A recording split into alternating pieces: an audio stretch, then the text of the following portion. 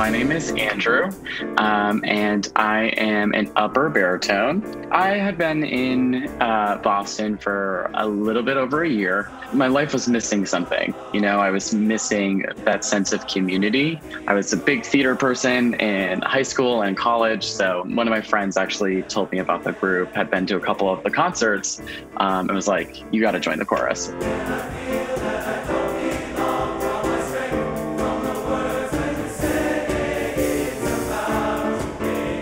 Mean, it's definitely been tough. You know, when I just got these relationships started with these people to have uh, a literal block between being able to, to see them every week. So um, it was definitely hard. And so I've been hosting some Quiplash events just like a little game virtually with a couple people uh, where you pick funny answers to questions. And it's just like a nice way to connect with people. I really wanted to give back in a way and make sure that uh, all the new members that are coming in at a even more difficult time feel like they still have that sense of community. I actually sang a trio with a Grammy Award winner. His name is Kent Knappenberger, um, and he actually won the first Grammy Award for excellence in music education. I actually know him because he has dairy cows.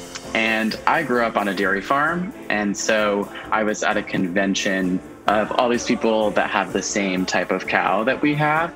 And so he reached out and noticed my pictures from my theater performances. So he uh, offered to sing a song with me at the convention. So we did I Run to You by Lady Antebellum. Um, and it was really fun.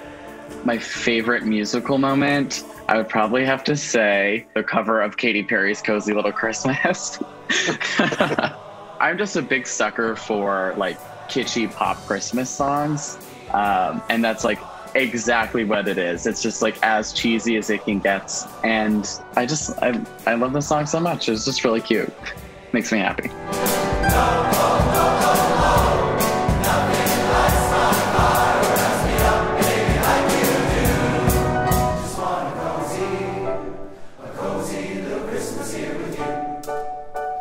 I guess when I'm not singing with the chorus, I'm either singing in my car or singing uh, in my bedroom here or singing at Sam's because he has a better piano um, while he's cooking dinner.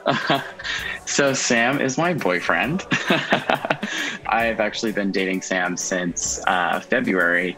And actually, the chorus is what brought us together, which uh, has been really wonderful. And we both started the chorus at the same time um, and then met through some of the different events that we've had last fall and hit it off really well. And uh, things have been so great. And it's been so nice to have such a caring and compassionate person in my life during all of this.